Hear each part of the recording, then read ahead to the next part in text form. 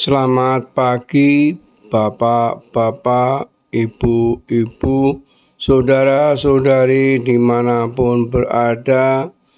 Berjumpa kembali dengan Sugeng Pramono dalam renungan Lukas 1 ayat 26 sampai 38.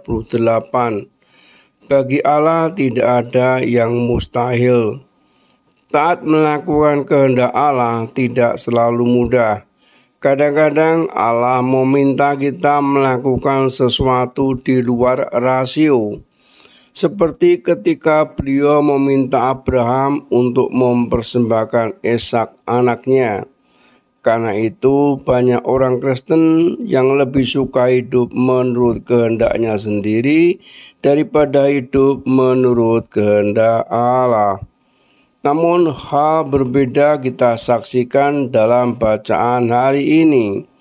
Setelah lewat enam bulan berita tentang kelahiran Yohanes, Malaikat Gabriel sekali lagi diutus ke Nazaret untuk menyampaikan berita kelahiran yang jauh lebih besar dan agung kepada Maria dari keturunan Daud.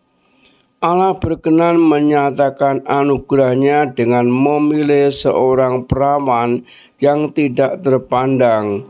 Ia akan menjadi ibu Mesias yang dijanjikan Allah.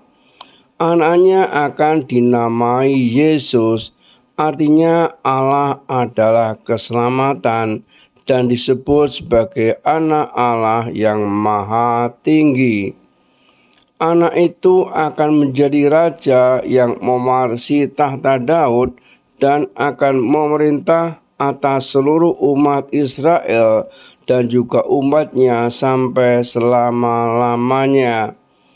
Menghadapi berita yang begitu mencengkangkan itu, Maria bertanya kepada Gabriel bagaimana ia dapat mengandung sebab ia belum bersuami.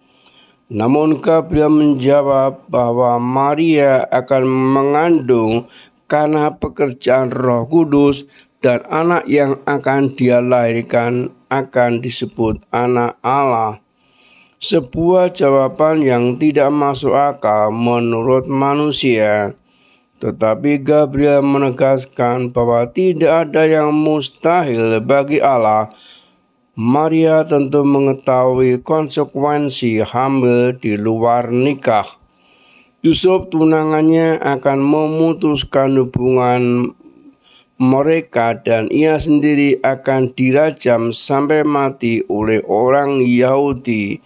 Ulangan 22 ayat 23 sampai 24. Namun responnya sungguh luar biasa jadilah padaku menurut perkataanmu itu. Sebuah sikap tunduk dan berserah yang bulat dan tidak memperhitungkan harga dirinya sendiri adalah sikap tunduk dan berserah itu kita miliki juga saat Tuhan meminta kita taat Adakah kita hitung-hitungan mengenai harga yang harus kita bayar bila kita taat?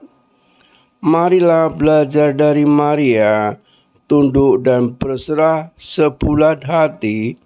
Salam dan doa, Tuhan beserta kita, sekarang dan selama-lamanya. Amin.